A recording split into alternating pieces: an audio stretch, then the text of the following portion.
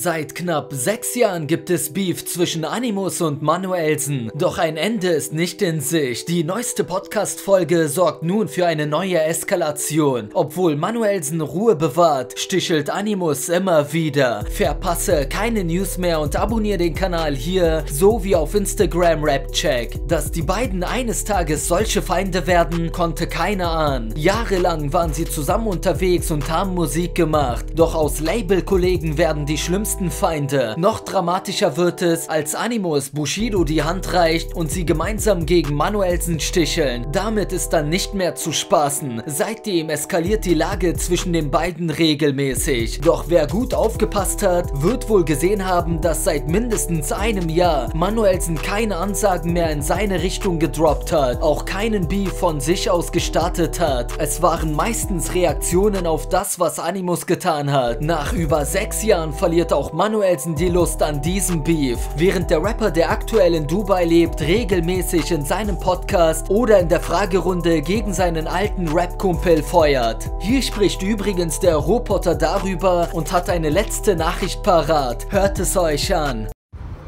Meine Freunde, ich sitze hier bei meinem täglichen Chai auf genüsslich, auf Sonntagmodus. Helm ist da, Motorrad ist da, das Wetter ist schön. Wir fahren ein bisschen möchte euer Augenmerk auf den neuen Animus-Podcast äh, richten. Der sagte, Assalamu alaikum, der äh, wieder einmal jetzt seit sechs Jahren wieder eine Podcast-Folge gedreht hat und wieder das Gleiche erzählt hat. Immer wieder das Gleiche. Geht bitte da drauf, hört euch das an und dann sagt mir bitte, dass ich falsch liege. Er hat wieder das Gleiche erzählt und wieder und wieder und wieder. Und das ist jetzt moralische Unterstützung von einem Zuhälter bekommen habe. Hm, erstens soll er das erstmal beweisen. Und zweitens ist das die gleiche moralische Unterstützung, die er brauchte, weil er sich nicht alleine zu Flair getraut hat. Allerdings muss man eine Sache beachten. Das ist nämlich das, wovon ich immer rede. Wenn man sich jetzt heute entscheidet, dass sein altes Ich zurückkommen sollte, dann sollte man die Brücke dahin nicht verbrennen.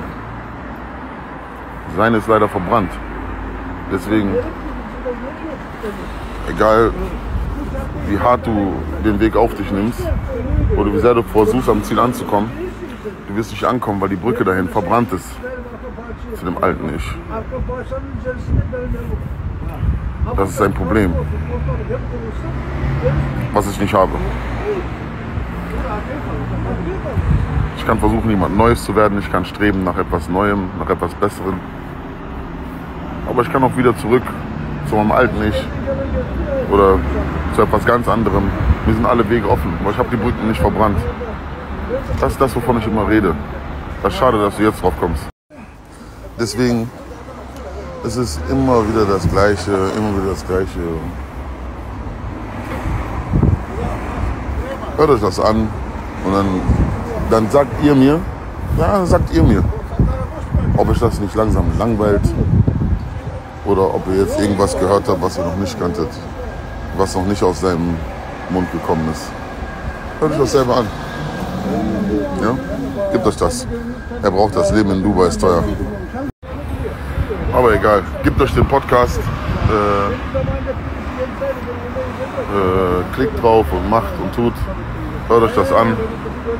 Und dann erzählt ihr mir, gebt mir mal eine Berichterstattung, ob ihr da irgendwas Neues gehört habt, was ihr noch nicht gehört habt.